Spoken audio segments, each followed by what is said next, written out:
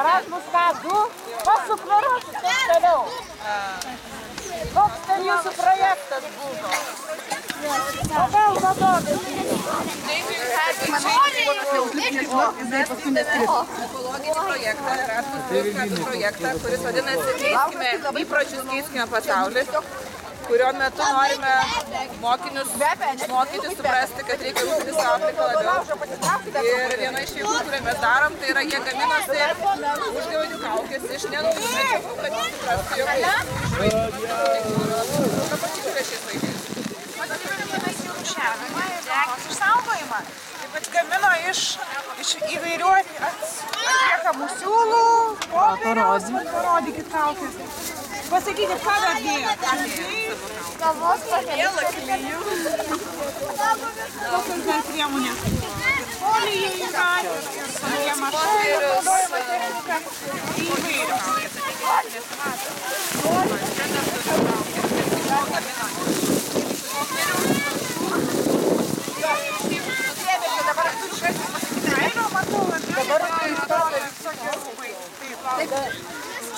Džiaugiamės dalyvavimu, gausiu dalyvavimu šitam konkurse, gaila šiandien oras labai prastas, bet tikrai vaikų daug dalyvavo konkurse. Mano kolegė Pilaitės Ragana nori apdovanoti e, ekologinių kaukių e, gamybos projekto nugalėtojus.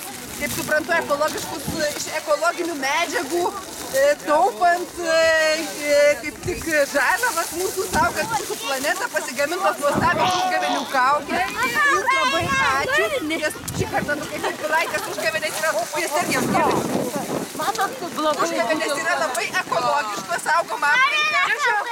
Labai iš... Čia mano plaukai vos neužsidegė. Čia matot, plaukai dabar veikia, tai tiesiog kviečiu. Laužada parodė. Tai va, Vyriausia Pilaitės ragana turi pašventinti saldainius. o kaip šventė? Va čia, va tai va. Tai čia aš turėčiau, ar jūs pašventinti? Ai, čia aš vyriausia, ne? Šventiname saldainius dabar jums ir padovanosim tiem šaunuoliams, kurie pasigamino tas nuostabias ekologiškas kaukės ir prašom tikrai taupyti mūsų aplinką. Nu dabar kaip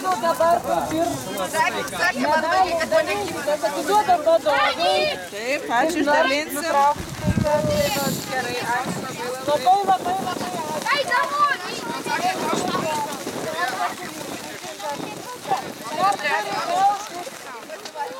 Kanapinis, sulapinį.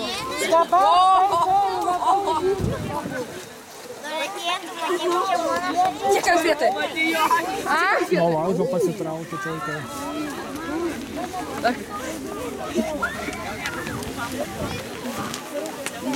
Prie laužo visi lieka vietos, prie laužo visi palieka vietos.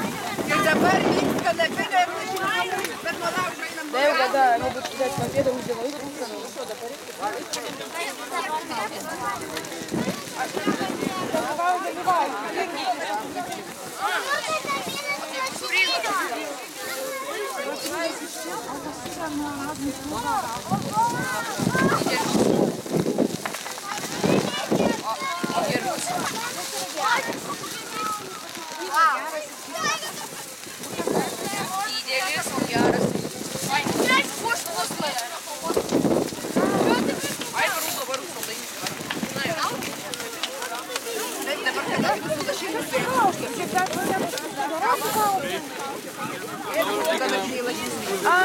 mane garsas yra labai geras, balsas labai geras. Aš galiu garsiai kalbėti, bet jūs dar garsiau kalbate. Aš ką nutilėsiu.